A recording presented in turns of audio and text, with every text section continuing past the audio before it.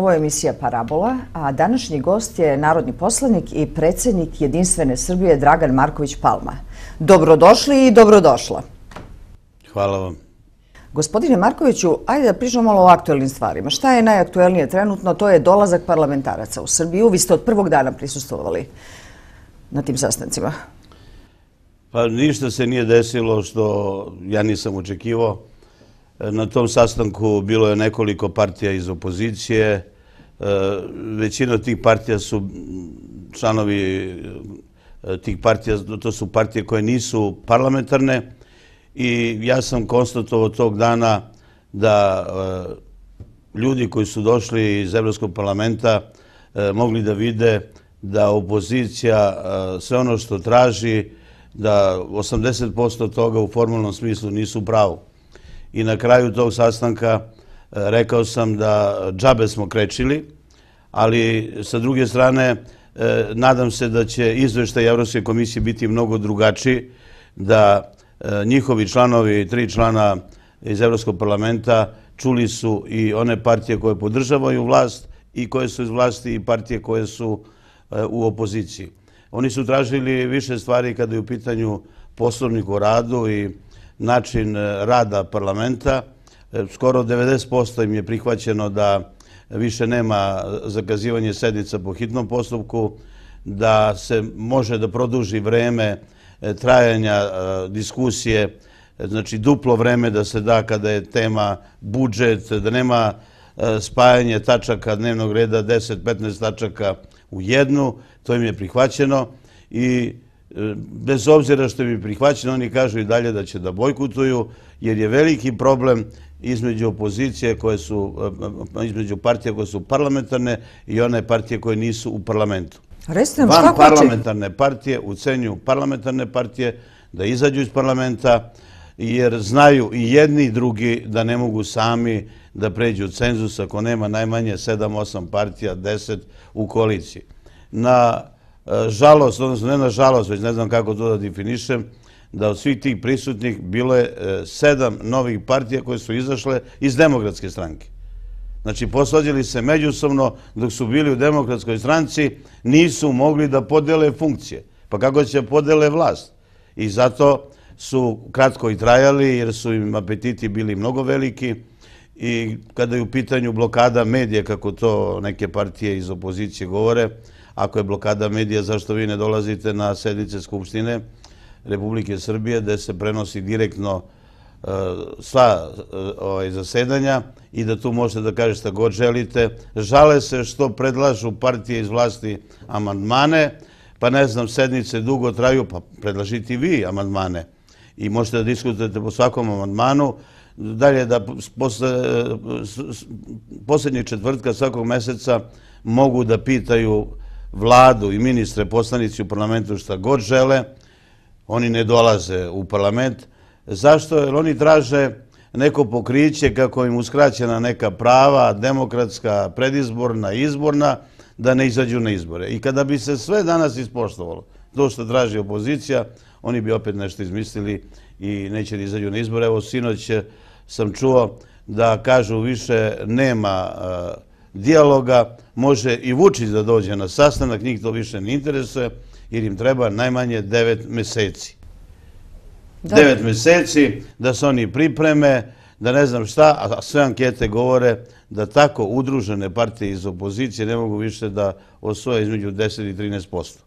I čekaju, kako oni kažu, neko bolje vreme, misle da će nešto da im padne s neba, traže da se E, ukinu aktivnosti funkcioneru u predizbornoj kampanji. Pa kako se ukinu aktivnosti vi da kažete nekom sa kojim ste zakazali da dođu u Srbiju od visokih predstavnika nekih drugih država, nemojte sad dolazite jer će da se ljuti opozicija pa ćemo mi se slikati, da ćemo se tada slikati i da ne znam šta imamo veći broj e, e, ovaj, glasova zbog toga što tih mjeseci i po dana koliko traje kampanja, vi ćemo biti na televiziji.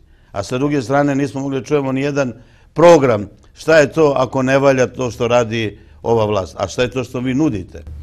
Ma što oni nude? Ajde, to stvarno. To oni nikad ne kažu kad treba. samo e, da mrze Vučića i mrze vladu i za sve im je kriv Vučić. Znate šta, ja sam bio opozicija u ovom gradu.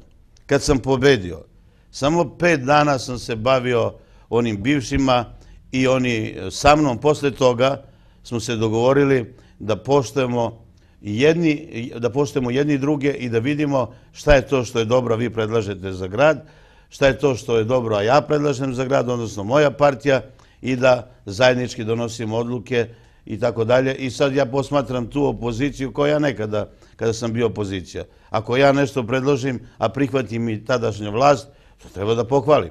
I nije sve crno u Srbiji. I da oni sada podržavaju, kada su bili izbori na Kosovo i Metohiji, podržavaju više one albanske partije nego što podržavaju srpsku listu.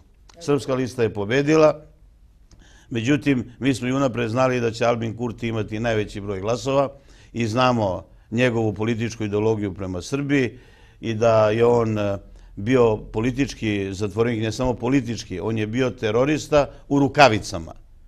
I tri godine je proveo u zatvoru, pustio ga Koštunica iz zatvora, e, kao ne znam da je on švercovo cigare i tako dalje, a to nije tačno bilo. Tada bio veliki pritisak međunarodne zajednice. I sada, šta kaže Armin Kurti, ne priznajem rezultat izborni, neću ni jednog sa srpske liste, hoću da uzmem nekog Srbina e, sa Kosova i Metohije, gde ćemo mu dati neku ministarsku funkciju i tako dalje. Znači, oni mogu da rade što god hoće, što god žele. Evo, uveli su nam sankcije. Pa smešno je kad kaže Amerika ukinite sankcije, oni ne ukinu. Pa im kaže to Nemačka. Pa im kaže e, Evropska unija. Pa im kaže E, Macron, predsjednik Francuske, naslednik e, Angele Merkel u Evropskoj uniji. Šta to znači? To znači mi ćemo da vam kažemo, a vi radite što god želite. I da Srbija je shvatila u kakvoj je poziciji i ono što je najvažnije da mi e, ne donosimo kontramere vi nama 100%, mi vi nama 100% uvedete e, e, takse, a mi ćemo vama, ne znam, 300, zabraniti ovo i tako dalje. Pokazalo se da oni ne zaslužuju da budu ni jednoj međunarodnoj instituciji. Pa prostite, ovaj divljački čin da vrate srpske sportiste. Pa upravo sam to teo da kažem. Znači, ne da oni mrze Srbe, oni mrze i srpsku loptu. Šta to znači? U sportu treba se primjeni fair play. Sportisti su najbolji ambasadori ne samo iz Srbije, nego iz svih zemalja. Sportisti treba da mire poslednjane političare.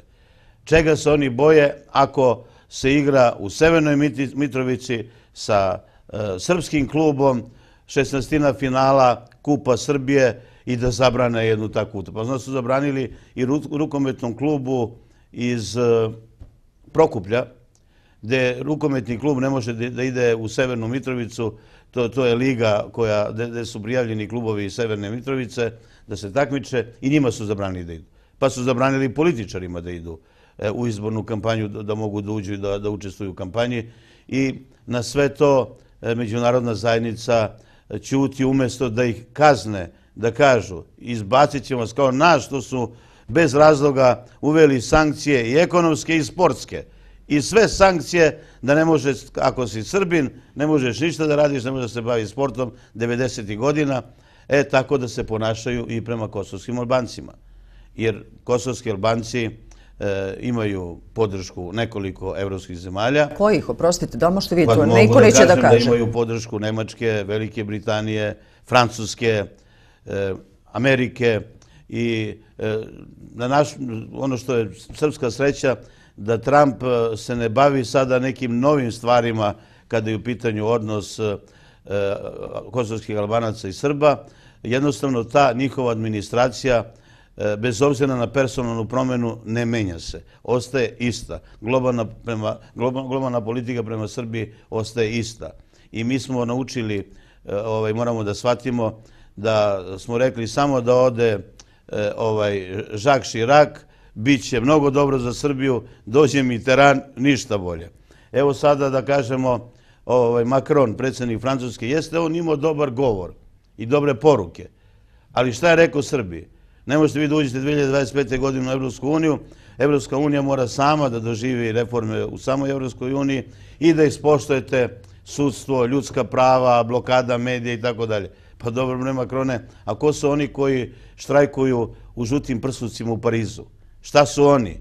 Jer su njihova prava ugrožena i to ta prava koja traže ti ljudi e, u žutim prsucima se tiče malte ne ovaj, e, kada pogledamo da oni hoće da povećaju broj godina e, rada, da se kasnije idu u penziju i tako dalje, jer to e, je za Francusku redu i da ne znam, s njim se smanjuju neke povoljnosti koje su imali ranih godina. A zašto demonstriraju ovi jedan od pet miliona u Srbiji, koji imaju podršku od nekoliko zemalja? Šta oni draže? Oni draže da se skine Vučić, ne znam da u Remu ne mogu više da budu članovi Rema ti, ti, nego neko drugi, a znaju kako se biraju ti funkcioneri u institucijama, da predsjednice Srbije bira na izborima, da ne možete vi sada da ucenjujete da ćete vi da postavljate članove REMA, čak i skupštinska tela, skupštinski odbori e, i e, participacija u tim e, skupštinskim odborima e, je e, u zavisnosti od broja poslanika koliko vi imate u parlamentu. I ne mogu ja sada sa šest poslanika jedinstvena Srbija da tražim, ne znam, tri e, predsjednika u tri skupštinska odbora. I oni traže nešto što je nemoguće. I ja sam rekao i preključen na sastanku sa e, evropskim parlamentarcima da, e, a šta ćemo mi da radimo sa društvenim mrežama? Evo, mi se žalimo na društvene mreže, gde opozicija 99% koristi društvene mreže sa lažima, gde naprave lažne profile i onda ti okače etiketu da si ti ministar ovakav, onakav i tako dalje, da to ne stoji. Jer možemo nešto da radimo, ne možemo ništa. Ono što možemo i to su tražili ljudi iz opozicije, dobili su skoro 85%. E sad kažu, e, finansiranje, da vidimo kako će da se finansiramo. Oni su doneli zakon da na osnovu broja poslanika iz budžeta Republike pripada političkoj partiji. Na koga mislite da malo DES. Bivša vlast. Bivša, da. Da e, im pripada onoliko para iz budžeta koliko imaju poslanika. Srpska napredna stranka ima najveći broj poslanika. Oni imaju ogromne pare.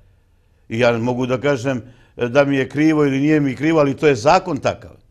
I ne mogu sad oni da kažu nama pripada toliko, da ćemo vama da se ne ljutite polovine od onoga što nama na meču nivou pripada. Dalje, zakon je jasan da mogu da vas finansiraju fizička lica sa 50 i nešto plata prosečnih, pravna lica sa 100 i nešto plata prosečnih i tako dalje, ali ne stoji u zakonu da može da vas finansira neko iz inostranstva, a da nije ekonomska razmena i da nije ovaj, nešto uveženo ili izveženo. Ako je ekonomska razmena, da mora postoji odpremnica, profaktura, faktura, toga nema, a poznato nam je da nekoliko opozicionara e, su finansirani iz inostranstva i direktno i indirektno preko nekih ambasada. I e, onda se stvara sumnja zašto vam neko dao te pare tolike, znači da nešto odradite za tu državu, a da to što radite bude e, loše za građane Srbije i za Srbiju. E, dobro, recite mi, molim vas, e, šta je jedinstvena Srbija uradila za sve ovo vreme dok je u koaliciji sa SPS-om? Pa jedinstvena Srbija i ja kao predsjednik jedinstvene Srbije smo mnogo toga uradili. Znači ja od 2004. godine sam obišao preko 10 država, E, gde sam e, vodio e, na sva ta putovanja u proseku, na primjer, odem u Nemačku, povedem 25 gradonačelnika iz Srbije. U Italiju isto, u Grčku, u Rusiju. A ja obezbeđivo novac od donatora. Znači, nismo plaćali iz budžeta. To mogu da rade i drugi gradovi. Oni ne prijavljuju donatore.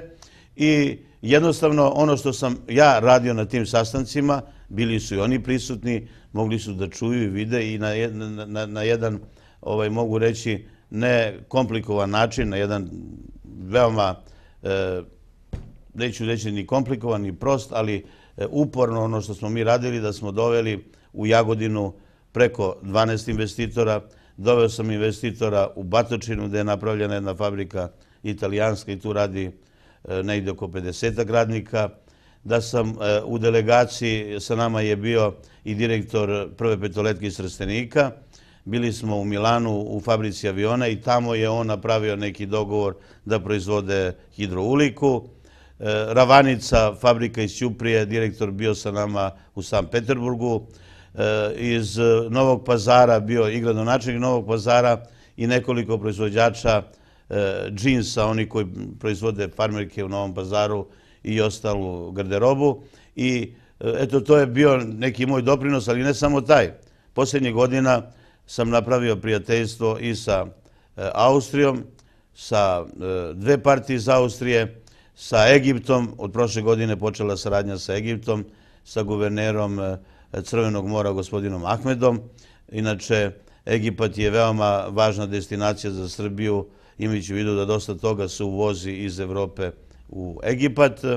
Egipat je bio uzdržan na posljednjem glasanju kada su gosti albanci tražili da uđu u Interpol, a na prethodnom glasanju su glasali za. E, čak sam i napravio voštenu figuru El Sisija, predsjednika Egipta, da e, skrenem pažnju kako hoćemo da se vratimo u ono vreme kada je sarađivao Tito i Nasser e, i da su oni osnivači nesvrstanih e, i Nehru.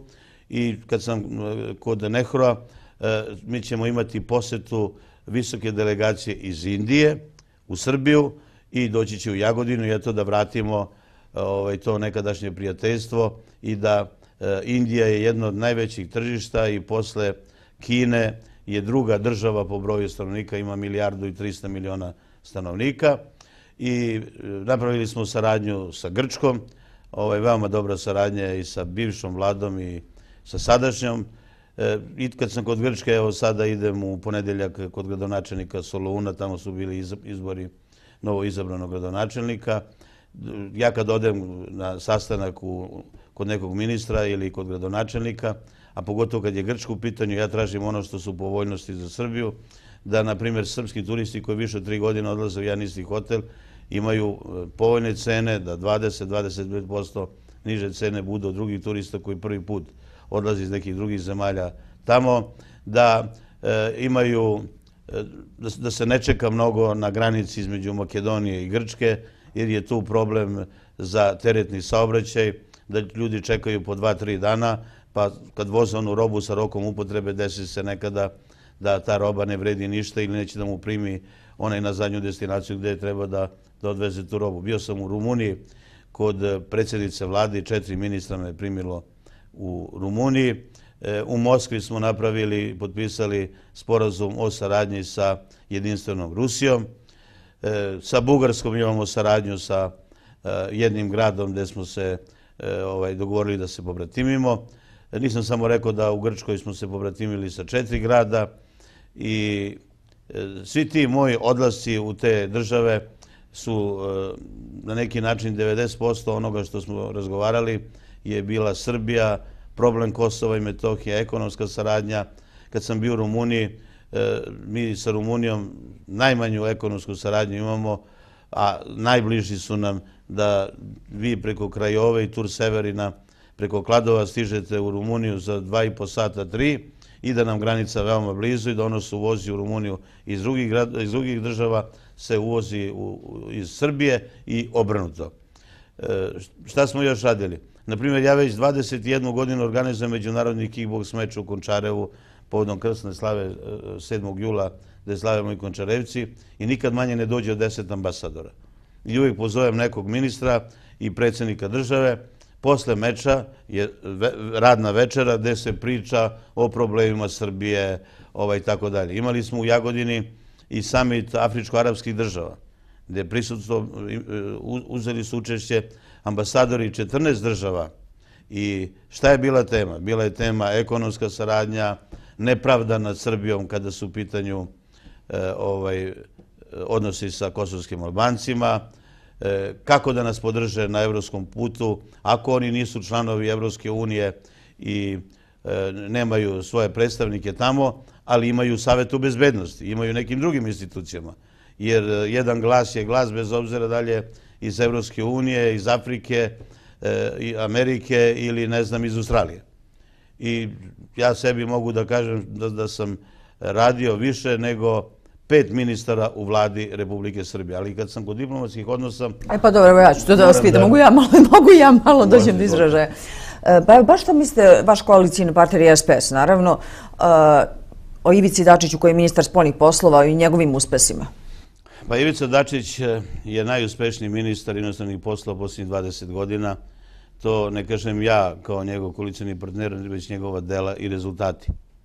On je, e, i zahvaljujući njemu i naravno u saglasnosti i dogovor sa predsjednikom Aleksandrom Vučićem, 15 država je povuklo priznanje o nezavisnosti Kosova i Metohije i pokazalo se na zadnjem glasanju kada su Kosovske Albancije tražili da uđu u Interpol da e, nisu prošli i da je većina bila na srpskoj strani.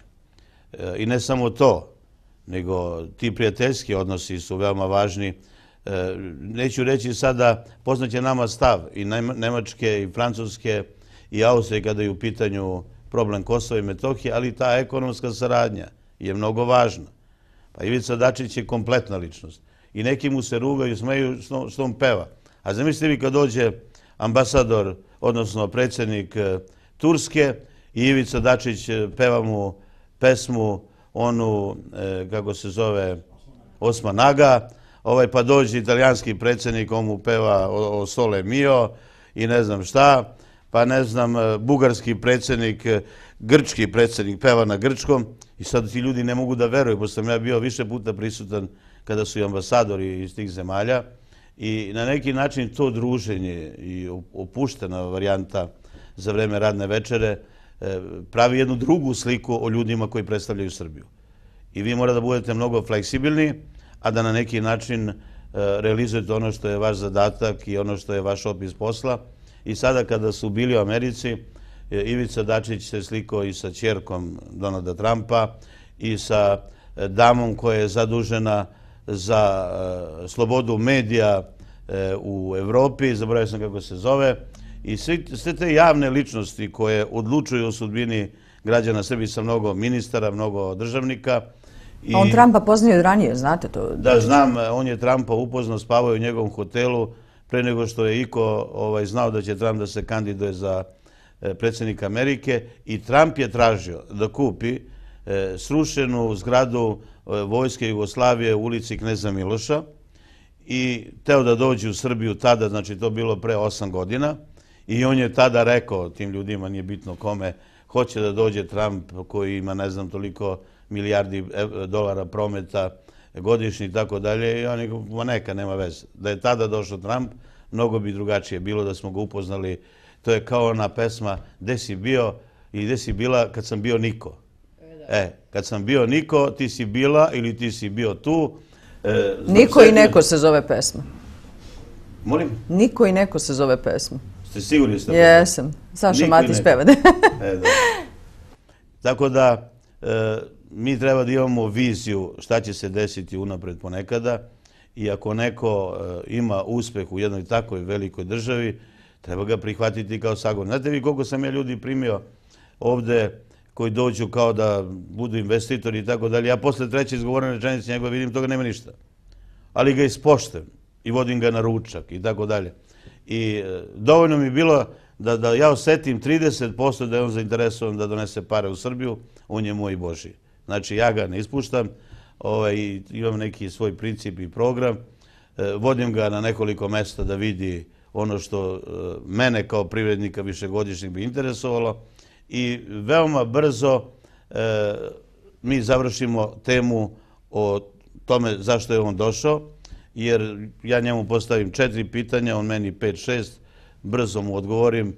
Ako neko želi nešto da pravi, znači ovdje u ovom gradu, kad pripremite papire, danas papire, predate sutra dozvola i počinje da se gradi. I ajde sad da se vratim na tu moju poziciju. Ja sam poznat jedino po tome što mislim ne jedino po tome, e, da sam glasao ovaj, protiv vlade iz poznatih razloga, podržavam ono što radi vlada, podržavam ono što radi Aleksandar Vučić i ono što je naš politički program e, Jedinstvene Srbije i mojih prijatelja u Jedinstvenoj Srbiji, mi imamo 120.000 članova. 120.000. Od toga imamo preko 30.000 mladih ljudi, mlađih od 25 godina. I ti ljudi su ušli u jedinstvenu Srbiju zbog programa, zbog dela politička eh, u političkim govorima, a da ta dela fizički možete da vidite. Znači, neka dela neko improvizuje, pa kaže, ja sam to, a gde je to što si ti napravio da mi možemo da pogledamo? I druga stvar, porodica. Porodica je osnovni stub i smisao života. i porodicu morate da poštojete i da se borimo protiv bele kuge. 35.000 ljudi više umre godišnje nego što se rodi. Da, onda dođemo, izvinite. A mi ne možemo da damo saglasnost da... Na onu drugu temu dođemo koja je sad aktuelna, nije baš prijatna, to je da LGBT parovi usvajaju decu. Znate, dolazimo do toga. Ja nikada neću glasati za tako nešto. E, da imam ništa protiv tih ljudi lično. Protiv sam demonstracije na ulici i ne znam, taj performans koji oni prave. Ovaj, I nekako su mi čudni, skaču kod cirkuzanti. Evo, pre neki dan sam gledao, e, bilo je u Prištini. Skaču. Tako su bili i u Beogradu isto, kad, kad ono, kao kad su pušteni iz nekog kaveza. Čemu se radeš? Mislim da razumem. Ovaj, I za mene je to parada srama, ne parada ponosa. I pazite, Francuska, evropska zemlja, u kojoj je izmišljena ljubav, odnos muškarca i žene. I oni su prvi put plasirali u javnosti ono što je kod nas posle počelo kasnije da se radi. Ovaj, oni izašli da se bune, e, da e, ne mogu veštačku oplodnju, da imaju dve žene ili dva muškarca, dobro muškarci ne mogu, da rode dete. Vi uskraćujete pravo detetu da dete ima oca. Pa čekajte, kako će to dete da bude vaspitavano i kada kaže, a gde je moj tata? A imate dve mame. Ko je tata? A ko je mama? A ko me napravio? Možete lažete dete danas do 3-4 godine, a u 5-6 godine možete da lažete. Nas su lagali i meni i vas da su nas prvo donele rode, pa vas našli su nas u koprivama i tako dalje, dok nismo saznali i, da ne kažem, probali ovaj, kako se deca rađaju. I jednostavno, e, danas, e, današnje vreme ne možete uporediti i da se vratite ono vreme pre 40-50 godina. Danas je turbulentan život, živi se 300 na sat, društvene mreže. Danas vi i ja šta sad uradimo i ako neko to hoće da plasira, za dve sekunde plasira odu javnost i sazna jedna petina Srbije, ako je ta tema interesantna, jedna petina Srbije sazna za, za deset minuta. Mislim, ja to znam, jer sve ono što radim kad pošaljemo medijima, i mogu slobodno kažem, ja sam e, najcitiraniji političar posle Aleksandra Vučića. On je prvi, a ja drugi. To je tačno. I E, ne zato što sad sam ja, ne znam, izgledam ovako i tako dalje, nego što su moja dela specifična. Moje izjave razlikuju su drugi. Ja ne čitam govore. Kao, pa kad gledate Skupštinu, 95% poslanika, kaže, dobar dan, predsjednice, dobar dan, drage kolege, e, danas je, pa čitaju datum koji je. Pa čekaj, bre, prijatelj, zašto si ti došao tu? Uzmeš pare, zaradiš platu, nemaš pojmu u životu. To je kao student koji kupi diplomu i sad kad se završe, on pamti kao te ispite, kad se završi e, fakultet, kaže, jeli, kako su se zvali ispite? A dobro, reci, kako ti se zvao profesor gdje si radio diplomski rad? Nemam pojem u životu. I to me strašno nervira. A problem je izborni zakon, što smo mi, kod nas je proporcionalni sistem, da bude neposredan izbor. E onda će da e, ovaj, budu izabrani domaćini, uspešni ljudi, i tako dalje, da imaju rezultat u svom poslu. Onaj, ako je poljoprivrednik, ima 50 krava, svake godine, ne znam, e, kupovao po neku priključnu mašinu, znači to je dobar domaćin. Ako neko ima i dve trafike, i taj je sposoban čovek, možda bi on teo da ima deset, ali ima dve. Ako je bio direktor škole, ako ne znam je ovaj, bio učitelj, pa ne, toliko džaka iz, iz generacije koliko je on izveo, su danas uspešni ljudi svugde u Evropi i, i da to bude kriterijum. Nažalost, u Srbiji je kriterijum podobnost, a ne sposobnost. Mi smo liderska država i krijemo se ispod kištobrana lidera, što nije dobro. Pa pa vi, sve, vi ste sve to uradili. Kao jedinstven sebi SPS, isto uradio dosta stvari. A onda se nađe u Skupštini Dragan Šormaz, poslanik SNS, vi ste u partnerskim odnosima sa SNS-om, je li tako? I on vam počne da kritikuje i kaže SPS treba u opoziciju. Vi ste na to oštro reagovali, jedini. Pa ne znam, ja sam to ovaj, poznavajući Dragana Šormasa rekao da on posljednji čovjek u parlamentu koji treba pričati o drugima, jer ja ga vrlo dobro poznajem i nekad sam vodio kampanju za Saša Radosavljevića kad su bili neposredni izbori, a varedni u Smederevu, za gradonačelnika i on je sa mnom, pošto je tada živ u Smederevu, bio u kampanji, Gde god odem u neko selo, jure ga da ga bio. da ga tuku. Odemo na pijacu ovaj, u jednom selu, ogromno selo, i tamo neki ljudi koji su imali tezge na početku ovaj, pijace, krenu na njega, kažem, idi bre čoveče, čekaj, sedi tamo u kafanu, odi i čekaj me u kafani, ne mogu sad da se bavim, te branim ovde, da ja ulazim u neku svađu sa tim ljudima i tako dalje.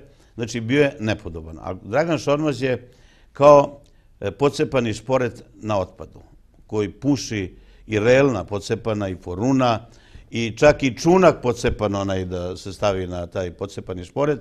I taj pocepani šporet, je nošen na otpad. Nisu teli da ga kupe oni na otpadu, reći na deponi se nalazi. I jedan podsebani špored kao što je, evo i danas vidim isto ovo nešto. Pa rekao je da ste ga vi zvali čak. Ovaj, da Jesam ga zvao, zato što me zvao kada je, ovaj, pošto sam ja, kad sam vodio kampanju, taj Saša Radosalić bio dva mjeseca pre kampanje na, na, na, kad je bilo ispitivanje jednog mnenja sedmi, a pobedio i on me zvao da idem na svadbu. Ne znam da mu to bio drugi, treći ili peti put da se ženi i zaboravio sam. I ja sad sam emotivan čovjek.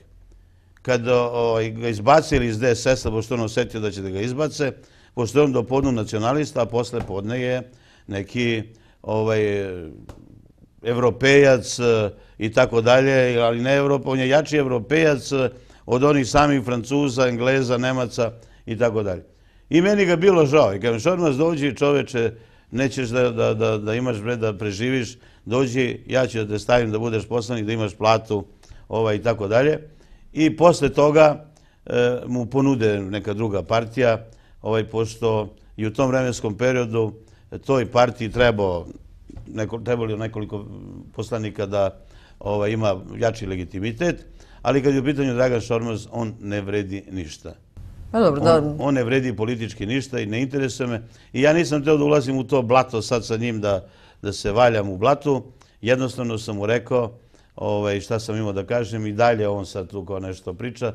Kako bi mogla javnost da čuje da postoji neki Dragan Šormaz u parlamentu? Ko je čuo za njega i ko uopšte zna ko je Dragan Šormaz?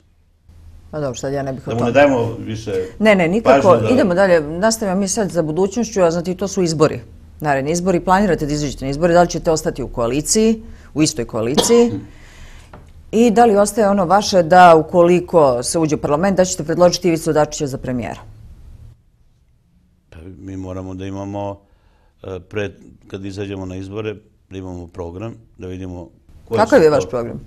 Pa naš program je socijalna pravda, borba protiv bele kuge, saradnja sa Evropskom unijom, ulazak u Evropsku uniju, ali ne po svaku cenu, da vidimo kako da rešimo problem Kosova i Metohije, nova radna mesta, dolazak investitora, da pomognemo našim privednicima u Srbiji i njima treba subvencija, posebno oni koji u posljednje vreme zapošljavaju e, više radnika nego što je to bilo pre 7-8 godina i da e, se ukinu privilegije koje imaju političari, političari koji e, primaju platu, mislim na poslanike, a ne dolaze na posao. Tri puta ne dođeš na posao, a nisi bolestan, ne primaš više platu. Ne možeš da mu uzmeš e, funkciju poslanika, ali tu platu ti daju porezki obveznici. Da li vi možete da primate platu ako nijete na posao, ako niste poslati na neki službeni put od strane poslovodstva, ili daleko bilo ste bolestan, ili ako vam je slava tog dana i tako dalje. Vi sada i danas, bez obzira što nije opozicija, ne dolazi u parlament, vi nemate e, 30 poslanika u proseku u parlamentu, a diskutuje se o veoma važnim temama. Poslanici koji primaju platu, moraš, prijatelj, dođeš u parlament. Ja sam bio protivnik protiv dnevnica, koji su bile ovaj, 2500 za dolazak na radno mesto, i to su ogromne pare, i stalno sam govorio godinu dana i ukinu se dnevnice za poslanike. Međutim, ne sviđa mi se su ukinute dnevnice za E, lica koja rade u državnim, društvenim i javnim preduzećima, pa čak i u privatnim. Ja sad ne mogu da dam nalog i da skinem pare s računa, da dam 1200 dinara koliko smo pre mogli da dajemo e, nekom ko ide na teren, nego 120 dinara. A šta da gubi za 120 dinara? Pa bi ja dao onom što predložio taj zakon 300 dinara, evo ti prijatelju, nemoj da ideš nigde na put, šta imaš da kupiš za 300 dinara? Znači da se dovede i donese zakon ko ne dolazi na posao, poslanik ne prima platu. E, pored toga što su poslanici privilegovani, imaju pasoš, imunitet, mogu da e, putuju gde god žele, ne čekaju red na granici i tako dalje. I šta je još najvažnije? Najvažnije je da vidimo, e, odnosno ono što ćemo mi da predložimo naša koalicija, kako da zaustavimo odlazak mladih ljudi iz Srbije. Mora da se ukine kriterijum na osnovu stručne spreme da se prima plata. Naprimjer, ovdje u lokalnoj samupravi plata za nekvalifikovanog toliko, polukvalifikovanog toliko, srednja škola toliko, četvrti stepen toliko, šesti stepen toliko, sedmi stepen toliko. Ne može tako. Mora rezultat. Ko radi dobro, ima rezultat, ne može da prima istu platu kao onaj direktor koji upropastio preduzeće, zato što je nesposoban i što mu je to drugo radno mesto i tako dalje. I tako da zustavimo mlade ljude. Odoše nam, odoše nam e, pametna moda. I ne samo mladi, koliko lekara je otišlo medicinske sestara. A biti lekar sa 55 godina, to je e, zanat gde vi ne možete ga završiti fakultet da znate ono što zna onaj koji ima hiljadu operacija i ne znam koliko stotina e, slučajeva i da on preko ovaj, radnog iskustva postaje dobar specijalista. I da vidimo kako tu da pomognemo. I da se povećaju plate, a da e, političarima se ukinu privilegije. Kako smo mi ovdje u Jagodinu ukinuli privilegije političarima?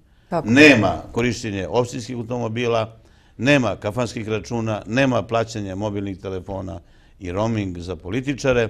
Članovi gradskog veća primaju nula dinara, kod vas u Novom Sadu U Novom Beogradu, ja sam bruto, bruto 150 hiljada, bruto, za člana gradskog veća. Šta ti radiš tamo? Šta radi član gradskog veća? Konstatuje predloženi politički dnevni red, pošto gradsko veće mora da usvoji ovaj dnevni red da bi otišao na sednicu Skupštine. A u Beogradu? A Beogradu šta je to znači? Isto. Beograd isto. U svim gradovima isto. I šta još nema ovdje? Nema dnevnice za odbornike, nema putne troškove za odbornike. Ne možeš ti, ne radiš nigde i kandido se za odbornika. Takvih slučajeva bilo i ima ih. Naprimjer, u našem gradu od svih tih lista 80% njih nigde ne radi i kandido se za odbornika. I kad prođe mora da bođeš odba njega. Prvo tog odbornika. Ja razumem. I ne znam, e, da ne pričam sad, sve ti se prepoznaju neki. I u stvari, zašto služe građani? Da izaberu političare, da političari žive dobro. Pokojni Đoša, glumac, je bio potpredsjednik Jedinstvene Srbije. I pre osam godina on gost na jutarnjem programu televiziji Pink i na kraju kaže, dobro, šta vi ima da ponudite? Građani kaže, evo, ja ću da budem iskren. Poštovani građani, glasajte za mene, meni će sigurno da bude dobro, za vas nestaje. Da, lepo. Ja zovem tog Đošu, kaže, Đošo, bre, šta priča? Kaže, ne mogu da lažem, predsjedniče. Pa znam, bre, to ne važi za nas. Nemoj ti na, da nas da upoređuje sa političarima koji godinama tako rade i tako se ponašaju.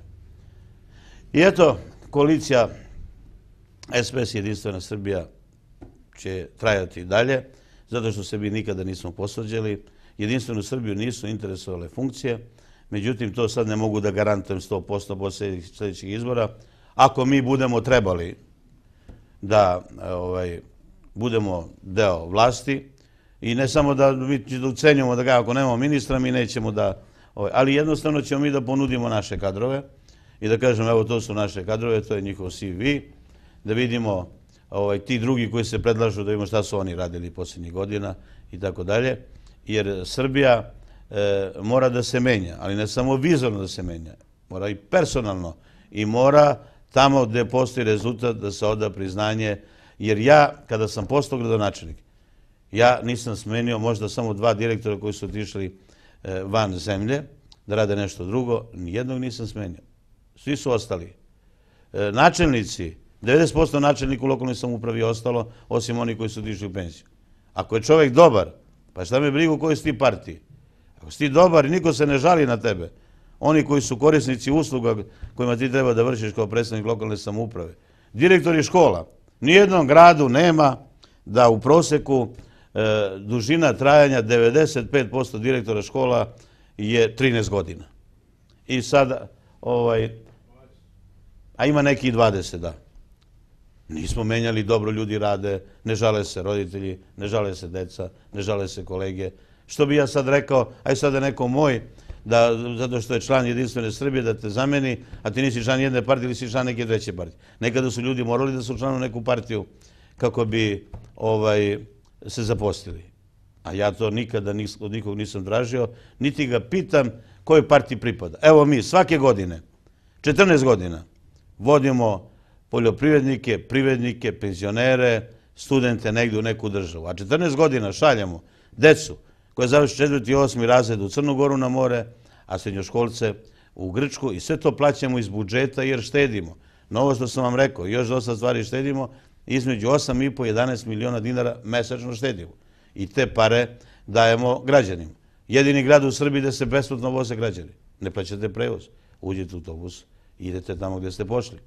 To smo donili odluku od 20. januara ove godine, a posljednjih 13 godina vozili se džabe, penzioneri i džaci. Nisu plaćali. I takve uslove nema niko. Šta još ima u ovom gradu da nema u drugim gradima? Evo, radali smo seoske puteve sa kamenom u nabijenom stanju 20 cm i radili toalete sa kupatilima. I počeli sad da se smeju... A da, neki jedan vas je kritikovao, ali da ne pričamo o tome, mislim, nije pa sad tema. Znate šta, ne možemo mi setimo poljoprivrednika samo kad je izborna kampanja. Oni moraju da imaju neke uslove koje imaju oni koji žive u gradu, ovaj, da e, jednostavno taj besplatan prevoz uveč u 9 sati, gde će on da kupi picu, sandvič ili ne znam šta. Poslaće dete, unuka, idi autobusom, ne košta nas ništa. Mi u ta veća sela imamo e, prevoz do 23 časa posljednja ovaj, linija prema tim selima i tako da smo stvorili uslove. Grad Jagodina posto, turistički centar, industrijski centar, ovaj, sportski centar u Srbiji. Mi smo imali skoro 400.000 turista ove godine koja nije bila baš naklonjena turizmu jer je bilo dosta kišovitih dana. Sljedeće godine očekujemo mnogo više, zato ćemo imati još nekoliko novih sadržaja. I tako da se razlikujemo u načinu, imamo i muzej voštene figure, e, e, zoološki vrt, e, akvapark, imamo veliki Viva shopping centar, sada se pravi još jedan hotel gde će imati još 40 lokala E, i to su lokali gde prvo imamo nekoliko svetskih marki, ali su cene povoljne za kupce i za srpsku porodicu sa platama koje prima primaju srpske porodice. Da, pa dobro, hvala vam na tom svemu što ste nam ispričali, jer malo ljudi to zna, vi to ne pričate toliko. Ali nismo ništa rekli za grejanje. A, a sad sam ja htela baš to, nemojte da me, vi ste me sad priduhitili malo. E, sad zimska sezona počinje, narod se uspaničio, šta će biti, da će biti gasa, da će biti svega, znate, grejanje. Šta vi imate, kažete o tome? Slušajte, gledam Beogradsku hroniku i kaže, radosna vez za Beograđane, evo, grejanje od večera sim u Beogradu. Kod nas tri dana već ima. Pa baš me briga, bre, šta mi ti na tu Beogradsku kroz nisi pustio Jagodinu da, da je ušlo grejanje. U svaki stan, u Jagodini. I samo Beograd, Beograd, Beograd. I sad ljudi steknu utisak da ovamo su slepci, što bi babe rekle, razumete, jedu luk i leba, a nije tako. Znači, mi smo prvi pustili grejanje u Srbiji i ja sad ne želim da se to publikuje ne znam, ali jednostavno mi smeta jer svi plaćamo tu televiziju. Ja sam čak ugroženi od opozicije koja se žali jer sam za posljednjih sedam godina dva puta bio u upitniku. A svako od njih bio po tri, četiri puta. I ja se ne žalim. Razumete što mene zovu? Da. Zašto mene zovu, ne znam. Hoće biti gasa, hoće biti gasa za građane Srbije. Pa, posljednjih godina, ovaj, kada je u pitanju gas, e, cena struje, E, postoji neka stabilnost i na osnovu rasta plate i sve ono što e, građani mora da izdvoje da plate grejenje. Ja moram da izdvojim i Aleksandra Antića koji vam dobro radi svoj posao, Ajduleta Bajatovića koji je lično napravio dobre odnose sa Gazpromom. I znate šta, lične odnose ne može ni jedna strana zemlja da sruši druga zato što Bajatović ima dobre odnose sa direktorom e, ovaj, e, dobavljačama iz Rusije, sa nekoliko visokih funkcionera i tako dalje. I Srbija je jedina koja ne daje garanciju banke za uvoz gasa. A garancija banke košta. A kad vi platite garanciju banke, onda mora ugraditi ugradite tu garanciju cenu gasa. I to je dobro za sve građane. Imate gas na vreme, da pustite grejanje, da oni koji imaju centralno gradsko grejanje mogu da ovaj, računaju kad je temperatura ispod minus 12, da grejanje mora da postoji u svakom stanu tamo gde postoje tehnički uslovi. I e, ima još nekoliko ministara koji dobro rade iz vlade, da ih sada ne, ne, ne pominjem pojedinačno, ali petoro ministara, da sam ja predsjednik vlade, e, ne bi mogli da uđu ni u zgradu vlade. Jer nemam šta sad, sad ja na kraju matata da čekam da mi oni daju svoj izveštaj. Pratio sam šta su radili, a to što su oni radili uopšte nije korisno. Ja sam radoznala sad ko su ti. Ove što dobro rade, mislim, nema veze, stik navodili. Čim mi budu smenili, odmah ću da vam kažem. Evo, dobro. Ja, držite me za reč. Držim vas za reč. Dobro, gospodine Markoviću, hvala vam puno. Bio je ovo gospodin Dragan Marković Palma, narodni poslanik, lider Jedinstvene Srbije. Bila je emisija Parabola.